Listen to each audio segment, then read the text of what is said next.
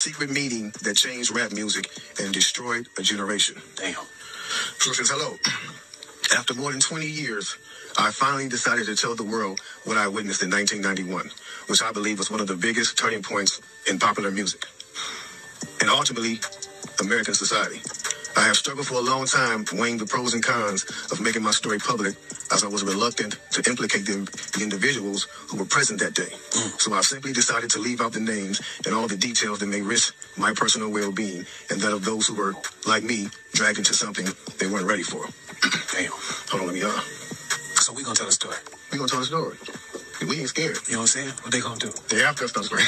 Look, act like man. So look, so he says between late between the late 80s and early 90s, I was what you may call a decision maker with one of the more established companies in the music industry. I came to Europe in the early 80s and quickly established myself in the business. The industry was different back then, since technology and media weren't accessible to people like that, like they are today. The industry had more control over the public and had the means to influence them any way it wanted. All right. This may explain why in early 1991, I was invited to attend a closed-door meeting with a small group of business with business insiders to discuss rap music's new direction. Hmm. Rap music's new direction. Yeah. Little did I know we would be asked to participate in one of the most unethical and destructive business practices ever seen. Crazy. So said so. So this was the meeting. The meeting was held at a private residence on the outskirts of Los Angeles. I remember about 25 to 30 people were were, were being there. Right. Most of them familiar faces. Speaking of those I knew, we joked about the theme of the meeting, as many of us did not care for rap and failed to see the purpose of being invited to a private meeting to the to, to discuss the future of hip hop. Talk to them. Among the attendees was a small group of unfamiliar faces who stayed to themselves and made no attempt to socialize beyond their circle. Based on their behavior and formal appearances, they didn't seem to be from our industry.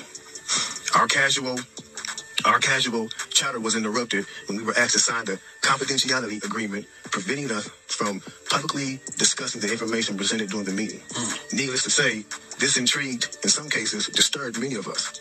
The agreement was only a page long, but very clear on matters and consequences, which stated that violating the terms would result in job termination immediately. We asked several people what this meeting was about and the reason for such secrecy, but could not find anyone who had the answers for us. A few people re- refused to sign and walked out. Nobody stopped them. I was tempted to follow, but but curiosity got the best of me. That's right. A man who was part of the unfamiliar group collected all the agreements from us. So now it's going to get to the good part because the meeting about to start. Talk to him, Jake.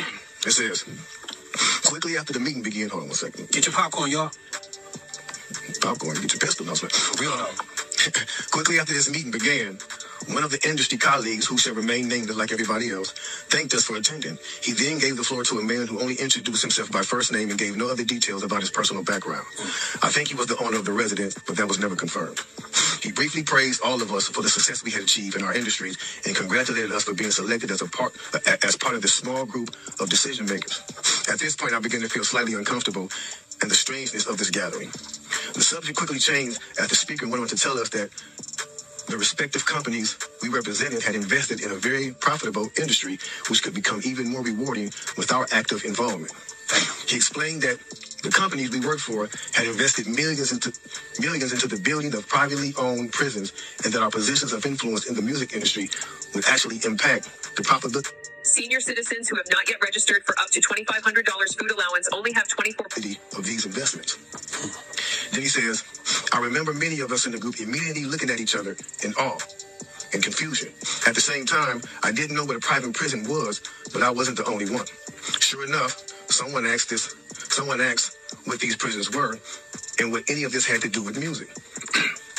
we were told that these prisons were built by privately owned companies who received funding from the government based on the number of inmates. Mm-hmm. The more inmates, the more the government would pay these prisons. Mm-hmm. It was also made clear to us that since these prisons are privately owned, as they become publicly traded, we'd be able to buy shares. Most of us were taken back by this. Again, a couple of people asked what this had to do with us. At this point, my industry colleague who had first opened the meeting took the floor again and answered our questions. He told us that since our employees had become silent investors in this prison business, it was now in their interest to make sure that these prisons remain filled. Our job would be to help make this happen by making music which promote criminal behavior. Mm. Rap being the music of choice. Mm. He assured us that this would be a great situation for us because rap music was becoming an increasingly profitable market for our companies. And as employees, we also be able to buy stocks in these prisons. Immediately, silence came over the room. You could have heard a pin drop.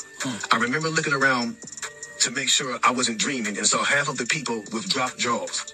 My daze was interrupted when someone shouted, Is this a fucking joke? At this point, things became cha- chaotic. Right. Two of the men who were part of the unfamiliar group grabbed the man who shouted and, and attempted to remove him from the house. A few of us, myself included, tried to intervene. One of them pulled out a gun, put out a gun, and we all backed off. They separated us from the crowd, and all four of us was escorted outside. My industry colleague, who opened up the meeting earlier, hurried out to meet us and reminded us that we had signed an agreement and would suffer the consequences of speaking out about this publicly, or even those who attended the meeting. Damn. I asked him, why was he involved with something so corrupt? And he replied, it's bigger than the music business and nothing we can do. And, uh, no, no, no, it's bigger than the music business and nothing we want to challenge without risking consequences. We all protested as they, as they walked, as we walked back into the house. I remember word for word the last thing he said. It's out of my hands now.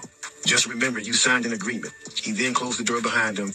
The men rushed us to our car and actually waited until we drove off the property. Damn. So